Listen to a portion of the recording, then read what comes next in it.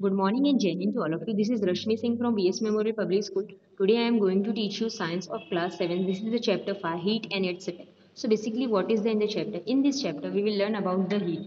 So basically heat क्या है बच्चों सबसे पहले आप मुझे ये बताओ कोई भी चीज़ गर्म है कि ठंडी कैसे पता चलेगी बेसिकली कोई भी चीज़ गर्म है ठंडी तब पता चलेगी जब हम उसे टच करेंगे तो ही हमें एहसास होगा कि वो गर्म है कि ठंडा जैसे आप कभी कभी बाहर जाते हैं कहीं कोई चीज़ खरीदने जाते हैं तो आप मान लीजिए कोल्ड ड्रिंक्स हुआ समोसा हुआ तो आप उससे पूछते हैं ना, गर्म है कि ठंडी? वो बोल देते हैं तो आप एक बार अपनी तसल्ली के लिए टच करके भी देख लेते हैं कि सही में गर्म है कि बस ऐसे बोल ही रहे नेक्स्ट इन्होंने कहा कि हीट क्या है। अब देखो एटीन सेंचुरी में साइंटिस्ट ने ये माना कि हीट तो एक तरह का फ्लूइड है। फ्लूड क्या होता है? जो लिक्विड और गैसेस से मिलकर बना होता है।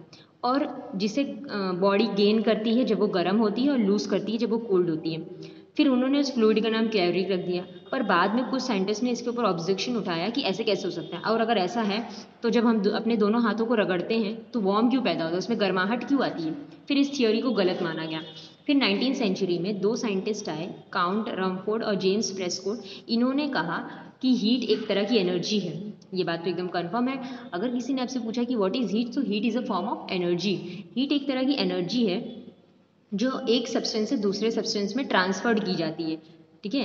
Heat is a form of energy that is transferred between two substances at different different temperatures so basically अब डिफरेंट टेम्परेचर क्यों कहा? क्योंकि हीट एनर्जी हमेशा higher temperature to lower temperature में मतलब higher temperature to lower temperature में flow करती है, जो उसका डायरेक्शन होता है हायर टू लोअर होता है। इन्होंने ये भी कहा कि बहुत सारे एनर्जीज ऐसे हैं जिसको हीट एनर्जीज में कन्वर्ट किया जा सकता है और हीट एनर्जी को अदर फॉर्म ऑफ़ एनर्जी में कन्वर्ट किया जाता है। ऐसा इसलिए किया जाता है कि डिफरेंट डिफरेंट एनर्जीज में कन्वर्ट करके हम अपनी जो डेली यूज़ की चीज़ें हैं उनको यूज़ कर पाएँ। Examples When you rub your hands together, mechanical energy gets converted into heat energy and your hands become warm. When uh so basically first point में इन्होंने क्या किया कि जब अपने दोनों हाथों को रगड़ते हैं तो हमारी मैकेनिकल एनर्जी किसमें जो हमारे हाथों के बीच में मैकेनिकल एनर्जी पैदा होती है, वो किसमें कन्वर्ट हो जाती है? हीट एनर्जी में। और जिसकी वजह से हमें गर्माहट की एहसास होती है। और ये मैकेनिकल एनर्जी आती कैसे? जब आप अपने दोनों हाथों को रगड़ते हैं तब, फिर वो किसमें कन्वर्ट होती है? हीट एनर्जी में।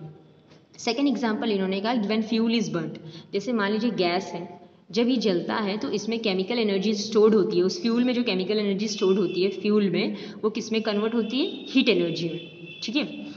Heat energy of burning petrol converted to mechanical energy in a car अब कोई भी जलता हुआ पेट्रोल डीजल है, इसमें जो हीट एनर्जी प्रोड्यूस होता है, वो मैकेनिकल एनर्जी में कन्वर्ट हो जाता है, जिसके वजह से आपकी कार या आपकी बाइक वर्क करना स्टार्ट करती है। चलना स्टार्ट करती है जो। इलेक्ट्रिकल हीटर में क्या होता है? Electric energy is converted into heat energy basically देखिए इलेक्ट्रिकल हीटर क्या होता है? आप अपने घर में हीटर यूज़ करते हो, आप सिर्फ़ उसे करंट ही तो सप्लाई करते हो। जो इलेक्ट्रिकल एनर्जी उसको मिलती है इलेक्ट्रिसिटी से, वो उसको हीटर क्या करता है? वो उसको कन्वर्ट कर देता है हीट एनर्जी में, और जिससे वो जलने लगता है हीटर और फिर आपको क्या गर्माहट महसूस होती है।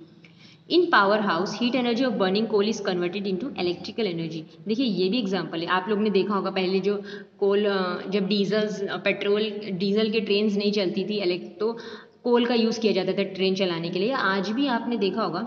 सो so बेसिकली करते क्या? पावर हाउस में कोल को जलाकर उसकी हीट एनर्जी को इलेक्ट्रिक एनर्जी में कन्वर्ट किया जाता है। जिससे कि यूज़ इलेक्ट्रिसिटी के लिए किया जाता है। When a cold liquid or gas is heated, its molecules gain energy and start moving faster. The more we heat the substance, the faster its molecule move.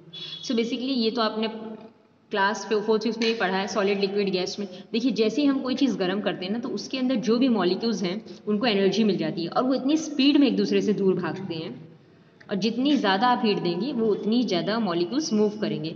इसीलिए आप ये भी कह सकते हैं heat energy is for the energy of movement of molecules तो हम ये भी कह सकते हैं कि हीट एनर्जी जो होता है वो आपका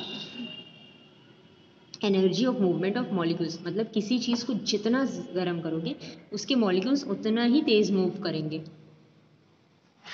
अब हीट्स के इफ़ेक्ट्स क्या हैं? So basically fill a vessel up to brim with water Drop a few pieces of vegetable in it. Hit the vessel and observe the changes that happen. You will observe the following changes. So basically इन्होंने क्या कहा है कि सबसे पहले आप एक container लीजिए, ठीक है उसके बाद वेसल लीजिए, बर्तन ले लीजिए, उसमें वाटर भर दीजिए पूरा उसके उसके बाद कुछ टुकड़े वेजिटेबल्स के डाल दीजिए अब उस वेसल को गर्म करिए आप अपने आप उसमें कुछ चेंजेस को देखेंगे सबसे पहला चेंज आप ये देखेंगे the water becomes warmer that is its temperature rise the heat causes increase in temperature तो सबसे पहले क्या होगा? जैसे ही आप उसे हिट करेंगे, उस बर्तन को गर्म करेंगे तो जो वाटर है वो गर्म होना स्टार्ट हो जाएगा।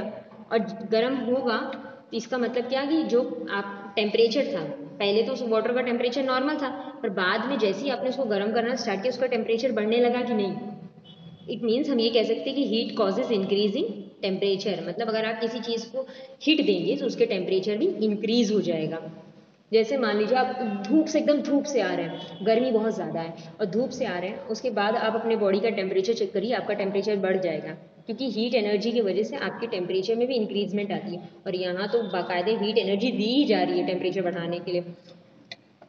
As the water heats up some of its overflows that is the volume increases the heat causes expansion देखिए कब, ये तो एक्सपांशन का एग्ज़ाम्पल हम ये दे सकते हैं कि जैसे जैसे पानी गर्म होगा या आप दूध भी देखते हैं ज़्यादा गर्म होने के बाद वो बाहर आने लगता है। तो हीट की वजह से एक्सपांशन भी होता है। एक्सपांशन का आप ये समझ सकते हैं कि हम जब किसी चीज़ को गर्म करते हैं तो उसके मॉलिक्यूल्स दूर भागते हैं। तो इस तरह उसके बीच में एक्सपांशन आता है।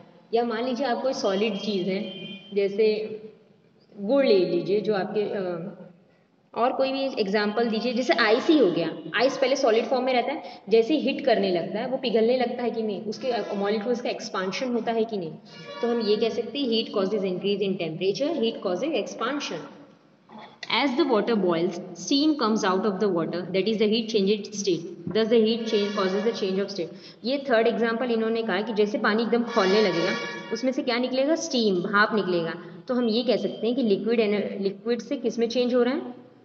गैस फॉर्म में। तो हीट की वजह से स्टेट में भी चेंज होता है मैटर के।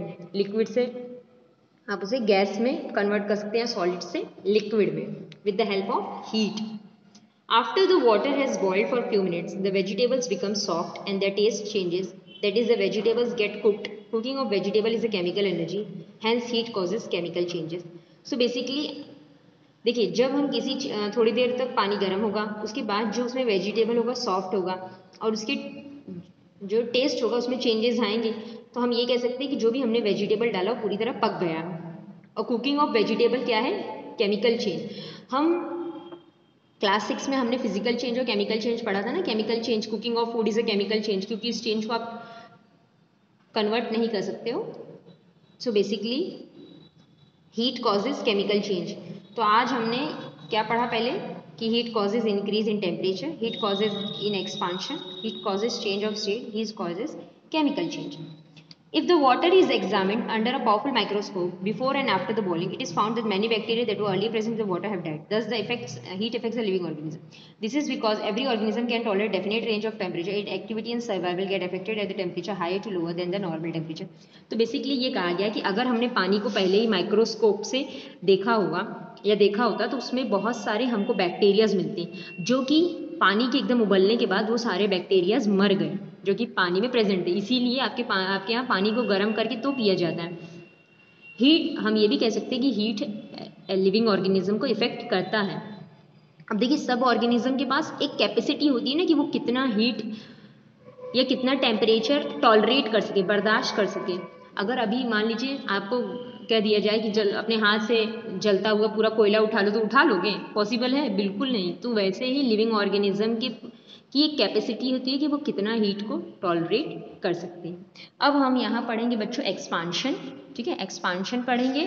उसके बाद आपको expansion in solid liquid gases around us फिर टेम्परेचर्स और इसके बाद आपका चैप्टर ख़त्म। सो बेसिकली ये मेरा पार्ट वन था।